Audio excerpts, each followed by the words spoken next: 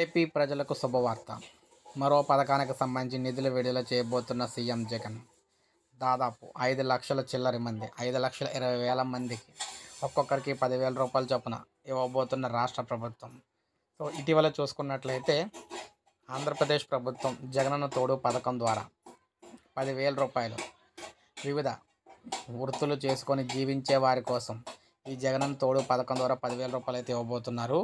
అయితే ఇందులో పూర్తి వడ్డీ అనేది రాష్ట్ర ప్రభుత్వం చెల్లించడం అయితే జరుగుతుందన్నమాట. ముందు వడ్డీ చెల్లించిన తర్వాత ఆ వడ్డీ నేరుగా మళ్ళీ వారి ఖాతాలకు అయితే జమ చేస్తారు. సో ఈ విధంగా జగనన్న తో తోడు పథకం ద్వారా అక్టోబర్ నెలలో అక్టోబర్ ఎండింగ్ లోపు అక్టోబర్ ఎండింగ్ లోపు చివరి లోపు దాదాపు ఐదు లక్షల ఇరవై వేల మందికి ఒక్కొక్కరికి పదివేల రూపాయల చొప్పున ఈ వడ్డీ లేని రుణాలు అయితే పంపిణీ అయితే చేయడం జరుగుతుందన్నమాట. ఇప్పుడే మనకు అప్డేట్ అయితే రావడం జరిగింది. జగనన్న చే- మనకి తోడు పథకానికి సంబంధించి అప్డేటు సో అక్టోబర్ ఎండింగ్ లోపు వీరందరికీ కూడా పదివేల చొప్పున అయితే మళ్ళీ వడ్డీ లేని రుణాలు ఇస్తున్నారు. సో ఇది మనకి లేటెస్ట్ అప్డేట్. ఒక లైక్ చేయండి సబ్స్క్రైబ్ చేసుకోకపోతే మన ఛానల్ సబ్స్క్రైబ్ చేసుకొని ఫాన్ అవుతున్నాండి